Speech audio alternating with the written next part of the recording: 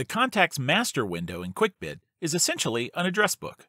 You can enter information about your company and others you may do business with, such as GCs, subcontractors, architects, engineers, suppliers, and more. The Contacts window lives in the Master menu at the top of the screen. Master windows contain database level information, meaning the content is usable on every bid in the current database.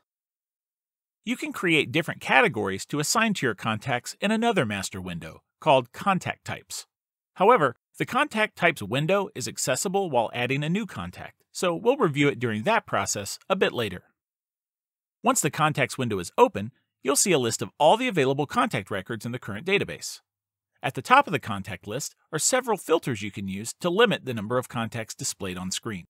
You can select a single filter or multiple to target a specific set of contacts. You can also sort the list by clicking on any of the column headings. The buttons on the right let you add, edit, delete, print, and import a list of contacts, as well as download suppliers directly from ConstructConnect. Let's see how to add a new contact first. Start by clicking the New button. The Company Detail Master window displays. Next, select what type of contact you want to use from the Type field. The default types are Architect, Business, Competitor, General Contractor, Owner, Personal, Subcontractor, and Supplier. Some types apply automatically in specific instances in QuickBid. For example, when looking up contacts from the Subs tab, the contacts list automatically filters to the subcontractor type. If you want to add a new type, click the magnifying glass to access the Contact Types List master window. This is the master window I mentioned earlier. Simply click the New button to add a new line and name the new type whatever you want. You can delete types if no current contacts use that type. Back on the Company Detail window, I filled out the top section with as much information as possible about the contact. The only required fields are the type and company name. So if you don't know every bit of information about the contact, that's okay. You can always add more details later. If the contact you're adding is a supplier, be sure to enter a valid email address so you can submit eQuotes to the supplier later. For more information about eQuotes, see the training video Sending and Receiving eQuotes.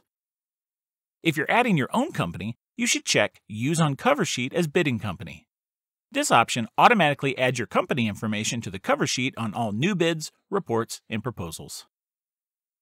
The tabs at the bottom of the screen allow you to add additional detail to your contact record. For instance, if you have several contacts at a large firm, you can add these folks to the Contacts tab. Later, you can select the specific contact when you create a proposal for that company. The AEC Info tab is useful when adding subcontractors. You can pre-assign a cost code, quote adjust percentage amount, minority and women-owned business enterprise designations, and a trade. You can also enter a tax ID, license number, union status, insurance expiration date, and if they're bondable or not.